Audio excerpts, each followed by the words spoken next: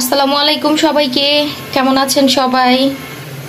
আশা করি খুব ভালো আছেন, আলহামদুলিল্লাহ, আমরাও ভালো আছি।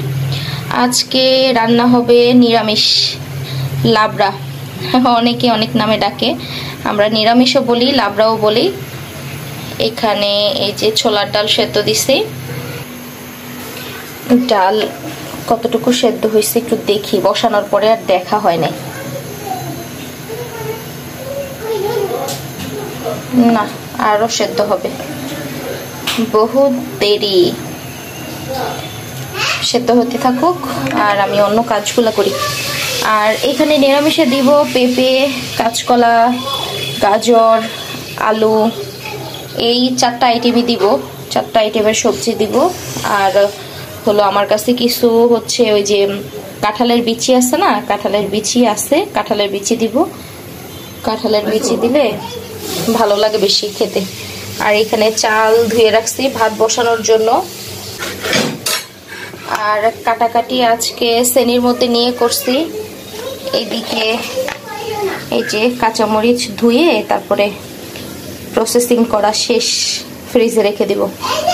এইভাবে করে কাঁচামরিচটা একটু কষ্ট হলেও রাখলে অনেক দিন টিকে। আর না হলে দেখা গেছে আগে তো এত কিছু ইয়ে করতাম না, বাইরে থেকে কাঁচামরিচ আনার পরে ধুইতাম না, ওই পলি সহ ফ্রিজের মধ্যে ঢুকায় রাখতাম। ওই কাঁচামরিচ টিকতই না পচে দিত দুই চার দিন পরে। তো আজকে দেখা যাক আর কি করা যাবে। নিরামিষ তো রান্না চলতেছে, আজকে নিরামিষ গটগোডায় দিব। নিরামিষ গটগোডাবো আজকে, নিরামিষ দিয়েই খাওয়া হবে। আর দেখি লাইটটা অফ করে দিই। এদিকে লাইটগুলো জ্বালাই। আর এখানে টেবিলের মধ্যে আসতে হচ্ছে এই যে আপনাদেরকে দেখাই।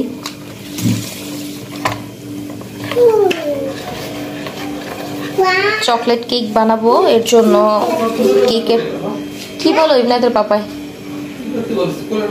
ও, এখানে চকলেট কেক বানাবো, সেই জন্য কেকের কেকের বেটারটা আর কি বানায় রাখ গোলায় রাখছি। কেকের বেটারটা দেখলাম যে দশ পনেরো মিনিট মানে গুলিয়ে দশ পনেরো মিনিট এইভাবে রেস্টে রেখে দিলে কেকটা ভালো হয়। আমার কাছে মনে হয় এখন এক একজনের কাছে এক এক রকম মনে হতেই পারে। গত দুই দিন যাবৎ ইবনাথকে এই চকলেট কেক বানিয়ে দিতেছি। ওর হচ্ছে খাওয়ার পরে অনেক ভালো লাগতেছে। তো আজকে সকাল সকালই বায়না করছে, কেক খাবে কেক খাবে। তো ভাবলাম যে রান্নার ফাঁকে একটা বানিয়ে দিই। কি হয়েছে তোমার? কেক খাবা তুমি? কেক খাবা?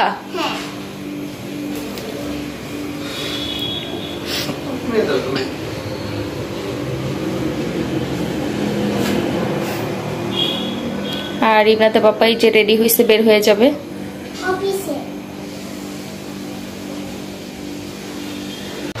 আমি যে নিরামিষ রান্না করলাম তখন, এই যে নিরামিষ। আর কি অনেকে লাবড়াও বলে, আবার নিরামিষও বলে, এই যে এখনও গরম, ধোয়া উঠতেছে। একটু ঘন টাইপেরই করছি, খুব বেশি পাতলা করি নাই আমি। আর এখানে এই যে বাদামের ভর্তা। বাদামের ভর্তা আমি পেঁয়াজ, তেলের মধ্যে ভেজে পেঁয়াজ, মরিচ তারপরে করছি। আর ফ্রিজে আগের রান্না করা তরকারি এসছে, খাওয়ার আগে ওইগুলো নামায় নিব, তাহলে আজকে আমাদের খাবার দাবার চলে যাবে। আর এইদিকে আমি আপনাদের জন্য কেক বসিয়ে দিছি। আমার কাছে, আমি চুলাতেই সবসময় কেক পিৎজা যে কোনো কিছু চুলাতেই বানিয়ে বেশি আর কি কমফোর্ট ফিল করি। তো সেই জন্য আমি আর ওভেনে দেই না, ওভেনে আমার কাছে ভালো লাগে না। আর চুলাতে বানাতে বানাতে আমার একটা কেমন অভ্যাস হয়ে গেছে। আমার কাছে চুলায় যে কোনো জিনিস তৈরি করাটাই আমার কাছে বেশি সহজ মনে হয়। এর জন্য চুলাতেই বানাই সবসময় সব কিছু আর, কেকটা বসানোর আগে এই পাতিলটা, পাতিলটাকে আমি দুই মিনিটের মতো একটু চুলার জালটা এই যে দেখাই, বাড়িয়ে দিয়ে তারপরে ফ্রি হিট করে নিছি। আর এখন এই যে এক মিনিট হবে এক মিনিট আগেই আর কি কেকের ইয়েটা বাটিটা বসায় দিছি। বসায় দিয়ে এই যে টিস্যু দিয়ে একটা ছিদ্র ছিল ঢাকনার মধ্যে ওই ছিদ্রটাকে বন্ধ করে দিছি। এবনা তোমার জন্য তো কেক বানাইতেছি। তুমি তো খুব হ্যাঁ চকলেট কেক তুমি তো দুই দিন কেক খেয়ে একদম খুব মজা পাই গেছো। গত পরপর দুই দিন ধরে বানায় দিতেছি কেক এখন আজকে সকাল থেকে ঘুম থেকেই শুরু করছে। কেক খাব কেক খাব। এর জন্য ভাবলাম যে বানায় দিই। ইমলাদকে বিকালে নাস্তা হিসেবে কিছু ফ্রেঞ্চ ফ্রাই ভেজে দিতেছি। আর মানে একসাথেই দিয়ে দিলাম, আলাদা আলাদা ভাগে ভাগে দিতে ভালো লাগতেছিল না। টাইমেরও ব্যাপার। ভাবলাম যে ছোট মানুষ আবার কি এত ইয়ে করব? আমরা নিজেরাই তো। সেই জন্য একসাথেই দিয়ে দিলাম আর একসাথেই ভেজে নিতেছি। মানে দুই ভাগ করে দিলে ভাজাটা একটু সুন্দর হইতো। একসাথে দেওয়াতে একটু সময় লাগতেছে। সমস্যা নাই।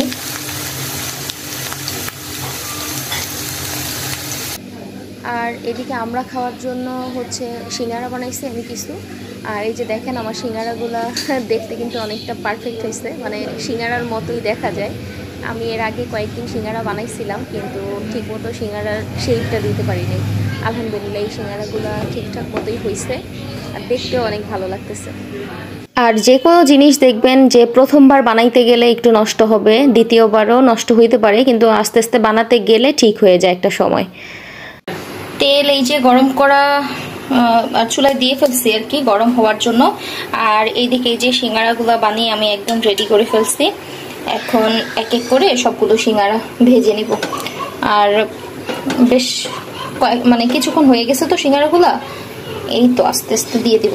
আর সিঙ্গারা ভাজার সময় কিন্তু তেলের হিট খুব বেশি হাই হিটে দেওয়া যাবে না। আল্লাহ। জোরে পড়ে গেছে একটা তেল ছিটছে, যে গায়ে লাগে কিনা আবার। আলহামদুলিল্লাহ। একটু ফাঁকা করে দিই নেড়ে চেড়ে।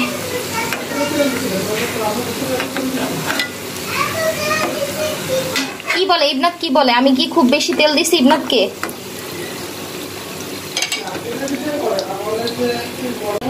এই যে সিঙ্গারাগুলা ভাজা একদম শেষ। আর এই যে দেখেন কি সুন্দর কালার হয়েছে।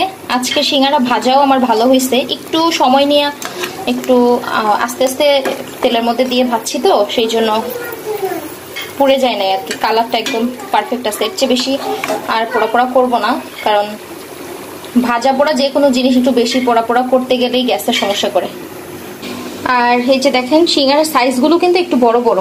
আমি একটু বড় বড়ই বানাইছি। মানে বিভিন্ন ফাস্টফুড দোকানগুলোতে যে কলিজা সিঙ্গারা যেই সাইজের হয় না, একটু বড় বড় টাইপের ওরকম বড় বড় করে বানাইছি। ইবনাথ খার ইবনাথের পাপাকে দিয়ে আসি। বাবা, গরম অনেক।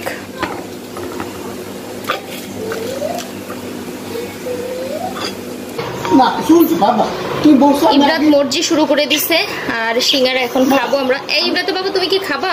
আমি কিন্তু খাওয়া শুরু করছি তুমি শুরু করো। বাবা শুনো আমি শুনছি বাবা সব শেষ। একদম গরম। তুমি বলছো আগে এই যে দেখেন সিঙ্গারার ভিতরের অংশটা এরকম। তুমি একটু খাবা ভেঙে দিই ঠান্ডা হবে গরম একদম।